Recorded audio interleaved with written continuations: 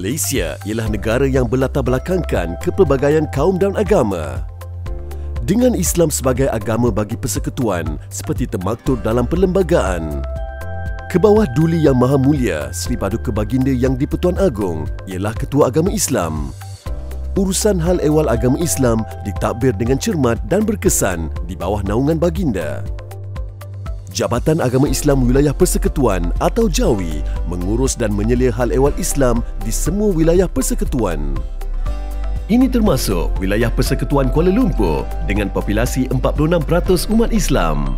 Wilayah Persekutuan Putrajaya yang berpopulasi 97% umat Islam dan wilayah Persekutuan Labuan yang mempunyai 76% populasi umat Islam. Jawi mempunyai wawasan dalam menegakkan syiar Islam Demi memenuhi visi ini, Jawi telah mengenal pasti lima bidang utama. Jawi bertanggungjawab dalam menguatkuasakan undang-undang syariah Islam dalam misi memantapkan akidah, syariah dan akhlak secara kolektif dan komprehensif. Jawi menyelia kursus perkahwinan dan mentadbir hal ehwal pernikahan pada peringkat wilayah persekutuan. Jawi melaksanakan dakwah secara menyeluruh dan profesional melalui pelbagai inisiatif menerusi institusi pendidikan dan penggunaan teknologi moden. Jawi juga memantapkan pendidikan bermula dari golongan kanak-kanak, remaja dan dewasa melalui sekolah-sekolah dan kelas-kelas agama yang dijalankan sepanjang tahun. Jawi juga mendidik saudara baru untuk memahami ajaran agama Islam Jawi berusaha mengimarahkan masjid melalui pentadbiran masjid yang cekap, pemilihan dan pelatihan kaki tangan masjid yang sesuai serta penganjuran kegiatan masjid yang berfaedah serta menarik kepada setiap lapisan masyarakat.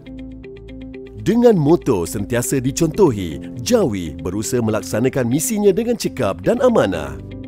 Demi mencapai visi dan semua misi murni dalam menegakkan syiar Islam, Jawi telah mempunyai lebih daripada 4,000 kaki tangan. Sebahagian daripadanya ialah imam-imam dan kaki tangan masjid. Jawi mempunyai lebih dari 1,400 guru di 72 buah sekolah rendah agama di wilayah persekutuan. Jawi juga mempunyai lebih dari 1,000 guru di 125 kafa. Jawi juga menguruskan enam tanah perkuburan Islam Raudatul Sakinah. Jawi mengelola semua masjid di dalam wilayah persekutuan termasuklah masjid negeri iaitu Masjid Wilayah Persekutuan yang terletak di Jalan Tuanku Abdul Halim, Kuala Lumpur.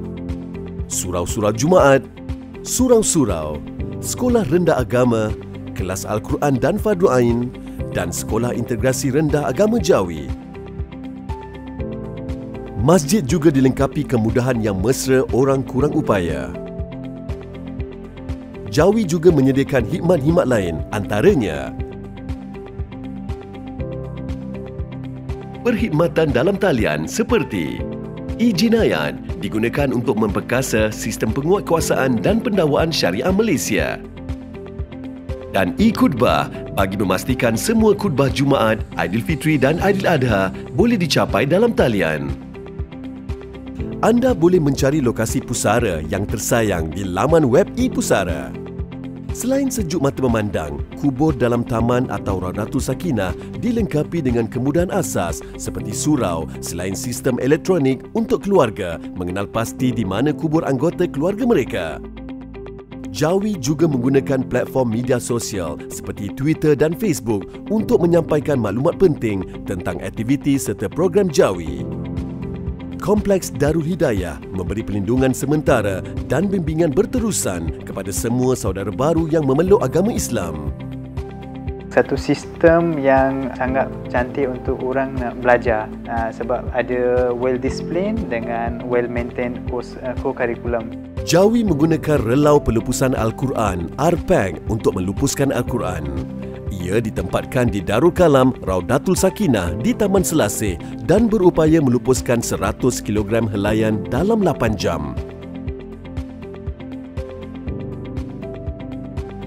Jawi juga melengkapkan fardu kifayah dengan khidmat menyempurnakan pengurusan jenazah tanpa waris. Selain tugas-tugas hakiki, Jawi telah mengambil inisiatif sendiri dengan menubuhkan Jawi Food Bank yang berfungsi untuk membantu asnaf dan mereka yang mengalami kesempitan hidup dalam memperolehi keperluan asas hidup makanan. Semua program dan aktiviti Jawi dilaksanakan demi menyantuni rakyat berbilang kaum dan kepercayaan dalam menyebarkan risalah Islam.